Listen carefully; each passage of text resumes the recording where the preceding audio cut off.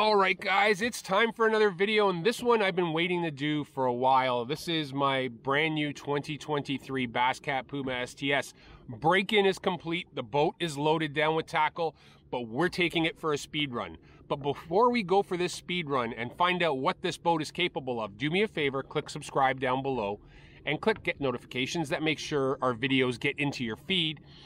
And if you want to, leave a comment down below if you have questions about the Puma STS or you have experiences or you want to chat about it or, you know, figure out something particular about yours, leave a comment down below. We'll be happy to get to it. But for now, I think it's time to get moving and get this boat rolling to see what this Yamaha SHO 250 Basscat Puma STS is capable of.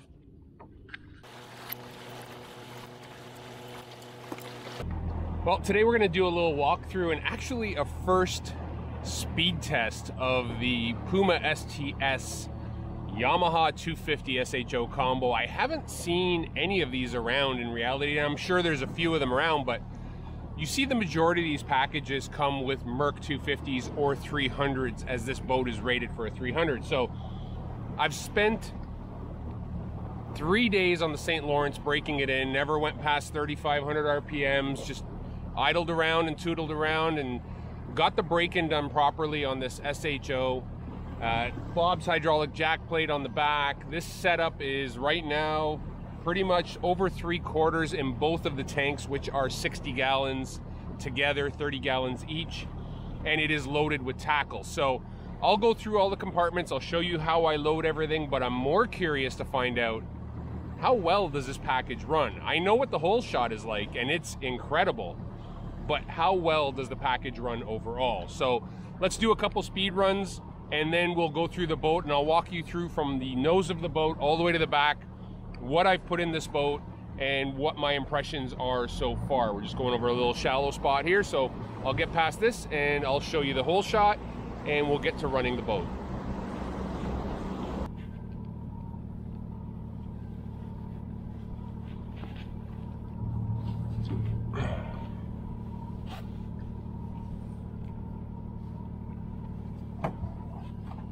All right, let's do this.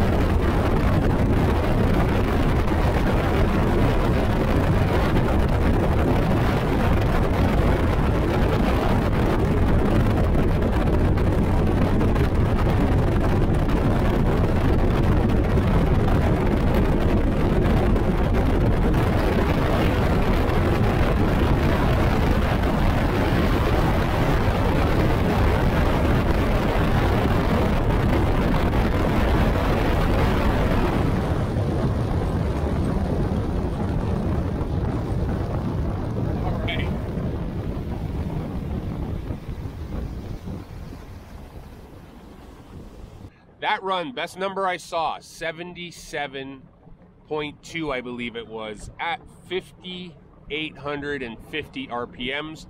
Uh, I've got a little bit of wiggle room here, and I don't want to push it too far, being this is the first time I'm running it, but I am incredibly comfortable with this boat. It is by far the easiest to drive uh, usually if you load your boats properly, the Bass Cats, they are very easy to drive. I find that getting them to 75 is usually a very minimal affair. And then you have to do a little bit of work and know how to drive to get them into those high 70s, uh, you know, low 80s with an Eyra, or, you know, I've had Puma FTDs that will run 81 mile an hour loaded. So this boat, super easy to drive, uh, 77 mile an hour loaded, three quarter tanks of fuel, a little bit over three quarter tanks in both tanks. Uh, nothing to complain about. This boat is a performer, it's easy to drive. So let's go through this boat from front to back and I'll let you know exactly what I've done and how I've set it up.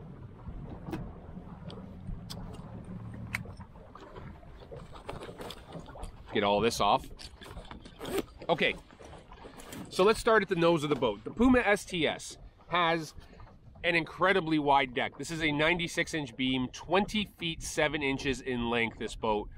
And the STS stands for Soft Touch Series hull.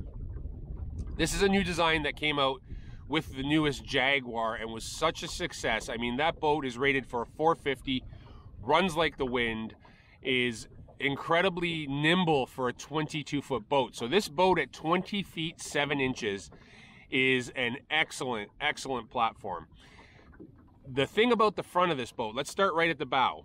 I've got this rigged with an 80 pound thrust Minn Kota Ultrex. The reason I go to an 80 is this boat is very easy to maneuver.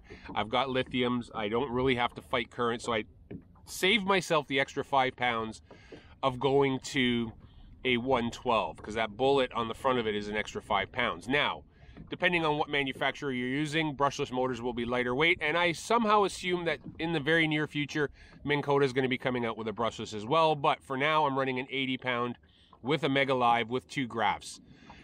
The front of the Puma STS is designed to have your two graphs mounted directly to the thing, eh, to the front end. It's got two steps that are angled properly inward and if you want to direct mount your graphs, you can do that very easily with the Puma STS. For myself, because I'm on the road so often and I'm leaving my boat in parking lots that I have no idea what kind of critters lurk, uh, I like to have my graphs quickly removable rather than having to undo both gimbals and take them off individually. I've got mine mounted on Geiger Tec's newest double stack at the front, which uses two arms that are independently turnable and the base is micro adjustable as well so I could get that perfect angle. I was able to offset my graphs with the bigger graph being the 12 up front, which I use for my Mega Live, and my smaller graph outside of that, they follow the contour of the boat much better and brings the big graph, the Mega Live, more to the center of the platform in front of the pedal, which I absolutely love. Battery tender, quick removable plug at the front as well. And this boat also has a live sonar shut-off switch, so you can link your live sonar into that switch and shut the power to that, which for a lot of people who don't know, a lot of the live sonars, even though your units are off, they are still drawing power. The units themselves can be drawing power, so you can shut them off when you're not using them and, you know, basically save on battery usage. Uh, cup holder at the front, like always people ask why there's so many cup holders in a Basscat. Um, a, it's great to put your drinks in, but B, it also gives you access points. So when you're doing wiring and stuff like that, you can remove these cup holders and it gives you great access to areas that you cannot otherwise get into. Uh, like I said, battery switch up at the front and then your anchor and nav light controls at the front, as well as two trim switch on the Damascus panels. So that's the front very nose of the boat. You'll also notice there are new magnetic rod straps uh, made by Basscat. These are Basscat proprietary straps. I love everything about them. Uh, if you're a barefooter though, you will notice that it will get the clip that remains screwed into the deck can be a bit of a problem, but it's really a problem with every kind of rod buckle I've ever seen, whether it's the bungees that have the little loop you tie into, or it's the uh, traditional retractable rod straps, or it's even the Velcro rod straps that have a metal D-ring on the one end of them. So something you really can't avoid. I like these. They're small profile. They don't take up much space. They securely lock and they're very easy to use. Coming back in the boat, uh, center net scabbard, which I have loved since I've owned my very first Puma FTD in 2010. Uh, my Jaguar in 2012 both had the net scabbard. I absolutely love that center net scabbard. It has a full-size net with extended handle tucked into it, easy access, easy to get to. On either side of the net scabbard, you've got two storage compartments. Uh, I use one of them for hard baits, another one for uh, safety gear. The reason I put my hard baits up there is because hard baits are generally, the boxes are relatively light and uh, you're not getting in, you know, putting heavy stuff. I don't ever recommend throwing your heavier boxes up front like lead jig heads and plastics. I like hard baits, uh, stuff that is light, terminal tackle, perfect place for it up there. Port and starboard rod lockers, uh, lots of room. I do spinning on one side, casting on the other. And then in the middle of the front deck, there is a giant storage. You can see it has that center divider, which is actually where the handle of your net fits into. So you can put tons and tons and tons of tackle in both sides of that. Again, that is where I keep all my hard baits and everything else.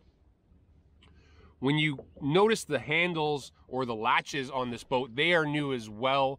Uh, they coined them slam latches when they first came out, but really it is a ingenious little system because it has moved the mechanism to the outside lip of the each compartment. With a traditional lock like we have on the very back compartments, you have to drill a hole inside for that latch to swing around and catch that lip. Well, it's also a leaking point in a lot of cases. So with these latches, the mechanism is moved to the lip of the actual door, which has a raised and gasket area around each and every one of them. So when you pop the latch, it's one hand operable. You push the button, you lift up the lid, you close the latch, and you can slam the lid down and it will lock on either side. Some of them on the big doors have two catches. Smaller doors obviously have one catch. Great system, lockable, uh, very, very easy to use. I'm absolutely in love with them. When you come down to the middle section or the cockpit section of the boat, giant cooler in the step and two tool holders on either side uh, in the front of that cooler. I've got a removable dual console in this one, so that console will come out when I'm filming a lot of times. It just gives me a lot more space. I love it. I love fishing with a single console. But the nice thing is, if someone does want that second console, or the wife is coming for a ride and she doesn't want to eat bugs at 77 miles an hour, the console goes in in just a couple of minutes. I put the reflex flooring in the deck area. Um, I like it because carpet tends to stay wet, especially down in this area. Uh, very easy to maintain, very easy to clean. You can power spray it, just do not use the focused beam. Nice and wide stream on it, you can do it. I like using simple green. I spray it down and use a brush on a drill, like one that you would use to clean your rims. And you can go over that and get it nice and clean really quickly. The great part is when it rains, it's not a soggy wet carpet. It dries off super quick. Uh, the seats, Wave Crusher seats in this one with storage underneath them. They have removed the tweeters out of the back of the seats, which is fine. The sound system is excellent. I've got the JL audio system in this boat. Um, you know, lots of storage. Having under the seat storage is a good bonus. Uh, I usually put snacks under one of them, like dry snacks that I want to keep, like mixed nuts and stuff like that. And the other one, I keep safety gear. So I've got everything easily accessible in case of, you know, anything going wrong. I've got my flares. I've got my fire extinguisher. I've got all my safety gear that I need for my specific area that I'm fishing in with this boat. Uh, I opted for the center console uh, in between the seats rather than the third seat. Uh, I love this thing because it's basically my glove box. Even though when you have a dual console, you have a great big glove box. This is where I keep all my nitty gritty stuff. So, you know, a multi screwdriver and my uh, mapping chips uh, and stuff like that. My phone, my keys, all that stuff is securely latched into there. And if you pop the back latch of that and lift it up, there is another cooler underneath there. So what I like to do is I use the big cooler for my drink cooler, put lots of ice in it. I put ice packs inside this one and I use this one more as a dry cooler uh, for sandwiches and sandwich materials. So very, very simple cockpit layout. When you look at the dash of the Puma STS, it is your traditional Basscat dash. You can do this a number of ways. I've opted for the Geiger Tec dash mount. I like it because it makes my graph quickly removable. And because I only run a single graph on the front, I have the short arm. If you can run doubles, you can run duals as well and angle them inward. For myself, it's Geiger Tec all the way. It's a great product, billet aluminum, sturdy, and with our rough waters, I've never ever had an issue with these uh, graph mounts. So that's where I rest my hat. If I'm going to put, you know, six or eight or ten thousand dollars worth of equipment on something, I'm putting it right there. Uh, I've opted for. I have a RPM gauge, a water pressure gauge, a fuel gauge, and a trim gauge. Uh, and then I've got the Bob's hydraulic lift gauge on the bottom. You've got your Basscat Command Center here, your A10 touchpad, which has everything you need from air aerator, manual, five minute and three minute timed, your recirc manual, five minute and three minute timed, pump in, pump out. So that is your live well controls. When you move over, you've got the fan system. You can hear that running probably. The fan system is a fan blower that goes throughout all the compartments. So if you got moisture in there and you want to dry them out, you can hit that as well. Below that, you've got security. Uh, and then you've got accessory one, accessory two, which usually controls your lighted handrails on this boat, which are billet aluminum. And then you have an, another accessory that you can hook something else up to. You've got fuel selection between the left and right gauge or tank. And then you've got bilge to set to manual or auto. And obviously your lighting, which is nav and anchor, and your horn. Loud. All right, beside the driver's side, there is a master shutoff on the bottom. There's also your live well selector from empty and auto. And you have a very handy pop-up cleat on either side for when you're docking. You don't have to run to the front and get to a cleat. You pull up to the dock, you have your little rope tied up to this side cleat right here, and then you can quickly tie off to the dock and then secure front and back when you have your bumpers on. And it makes parking your boat super, super simple. Uh, all right, so that's it for this section here. Now, when we move to the back, let me get the kill switch off of this thing. When we move to the back, you got really, really great system. You've got the traditional triangular Basscat Premium live wells, which hold like 42 gallons of water, I believe. Giant. I mean, no problems. They are a one unit divided live well with spacer in it. Um, the fish are incredibly happy in it and it has never caused me any issues. I love having that volume of water. The more water you have, the more recirculation you have. The jet sprayers are designed to break the surface tension and really get the water moving inside there and create oxygen inside of it. On either side of that, you've got storage compartments. This is where all my heavier stuff goes. So plastics and jig heads and tungsten weights are in these back two compartments. Uh, slam latches on those. If you step forward again, you'll notice with the live wells, you get these little compression latches. I love them, and I love them for a couple of reasons. A, they remove the latch from inside the live well. So when you're in rough water, and if you fish enough rough water like I have, sometimes you get your fish get beaten up in the live well, they hit the top. Well, you no longer have a nut and bolt and an assembly latch that the fish can hit themselves off of. So that helps. They've also put a, a neoprene on the lid of there with the beautiful Basscat logo in there that helps insulate and cushion the live wells as well. On either side of these back storage compartments, you've got little triangles that pop open with little trays, and they are meant to be so if you have Raptors or power poles, where you would mount your pumps would be there. It gives you access to them very easily without having to take up space in the back. Now the back end of this is where we talked about the configuration for the batteries. So because this is a premium model, it comes with aluminum battery trays designed by Basscat. The DL135 Plus lithium Dakotas are super, super tiny, uh, like smaller than like basically a 24 size series battery uh, footprint. But in here, I've got them locked down in the aluminum battery trays. I've got the 31 series AGM. Because these battery trays are on the side, it allows you access to all of your pumps, and that is critical. Too many times I've been in boats where if something goes wrong with a pump, you've got to remove batteries, you got to remove uh, a tray, a covering, a charger, something that's covering your pumps. These two doors in the back come off quickly. They are quick release doors. You can move them out of the way, and then you can access your bilge area and work on pumps, work on electronics, whatever you have to get to, very easily accessible. On either side of your batteries are two 30 gallon tanks, so 60 gallon fuel capacity in the Puma STS. And on either side of that, there's a slot to have storage, so I keep cleaning supplies on one side, and I've got, you know, I can keep some tools or whatever else I want on the other side. Right at the back, I've added a uh, plug-in charger uh, extension so that I can plug in without taking my cover off or having to get into the compartments. And you've got your fuel selector in the back middle. This is a new design in the back for the Basscat Puma STS, where traditionally we had a splash well that kind of went down and would hold water and had the two drains on the side. This has got that nice flat panel that they've mounted the fuel tank selector to, and that right beside that is where I've put my Noco plug-in extension, so I have quick access to charge on the go.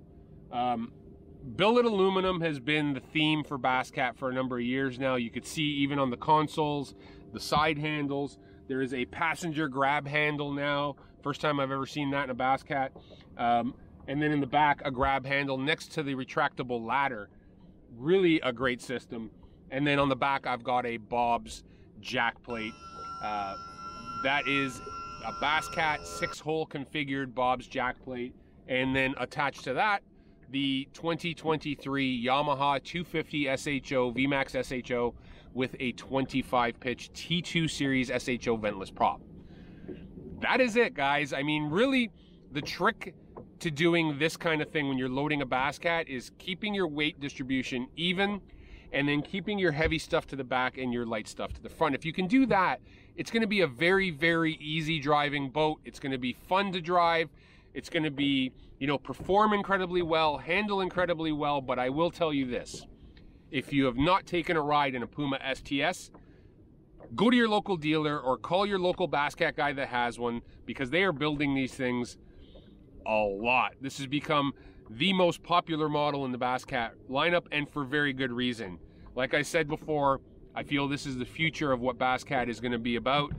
Uh, performance, great dry ride like we've always expected, speed like you expect from a Basscat, quality of build, Oh, yeah. And it's the only company in the industry that offers a fully transferable lifetime warranty. Not to the original owner, not to the second owner, not to the third owner, to every owner. All other manufacturers offer lifetime warranty to the original owner, and if the boat is sold within the first five years of its existence, it offers 10 years from the original date of purchase to the second owner, and the third owner has nothing. Basscats are fully transferable no matter how many times they're sold, no matter how old they are. Stringer, hull, and transom covered under their lifetime warranty.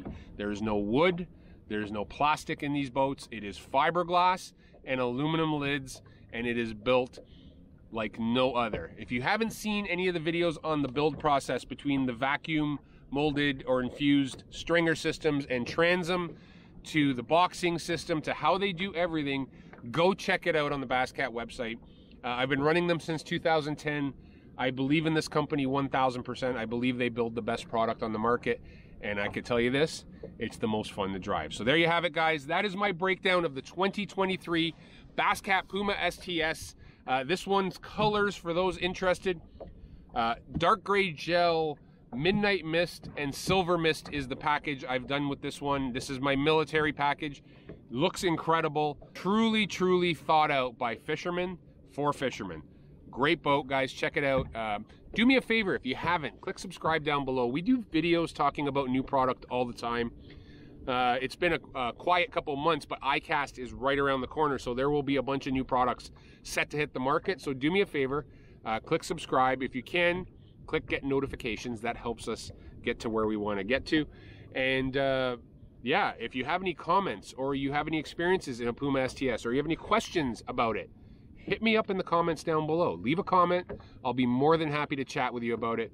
Uh, I think you guys would absolutely love the performance and the fishability and the stability of the new Basscat Puma STS. Hope everybody's doing well. I hope everybody's staying safe. Most of all, guys, I hope you're all catching fish. We'll talk to you soon.